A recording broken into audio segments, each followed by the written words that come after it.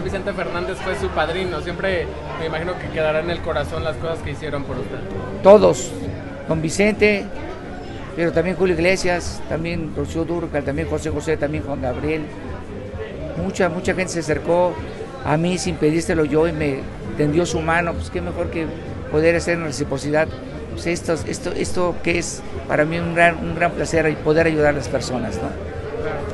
Oiga, señor, ¿qué, anécdotas nos podría compartir de ese, bueno, qué momento eh, fue el más importante de, del apadrinamiento del señor Vicente Fernández?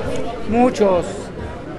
Me acuerdo que me, me fui a hacer un programa especial de siempre domingo con él a su rancho y yo llevaba un traje de mariachi que me compré en la lagunilla negro de mariachi. Y cuando llegué ahí y me vestí me dijo, ¿a poco vas a salir así? Nomás traigo esto, Vicente.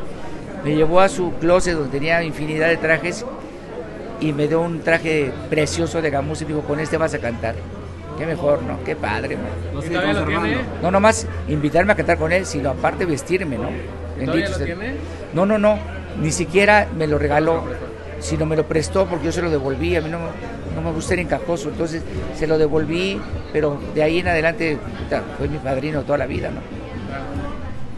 Pero un gran anécdota, ¿no, señor? El hecho de Eh, haber, sí. haber portado un traje que el señor Vicente Fernández en ¿Cómo algún no? momento Claro, usó. claro, imagínate qué, qué orgullo y qué satisfacción tan grande, ¿no? Claro.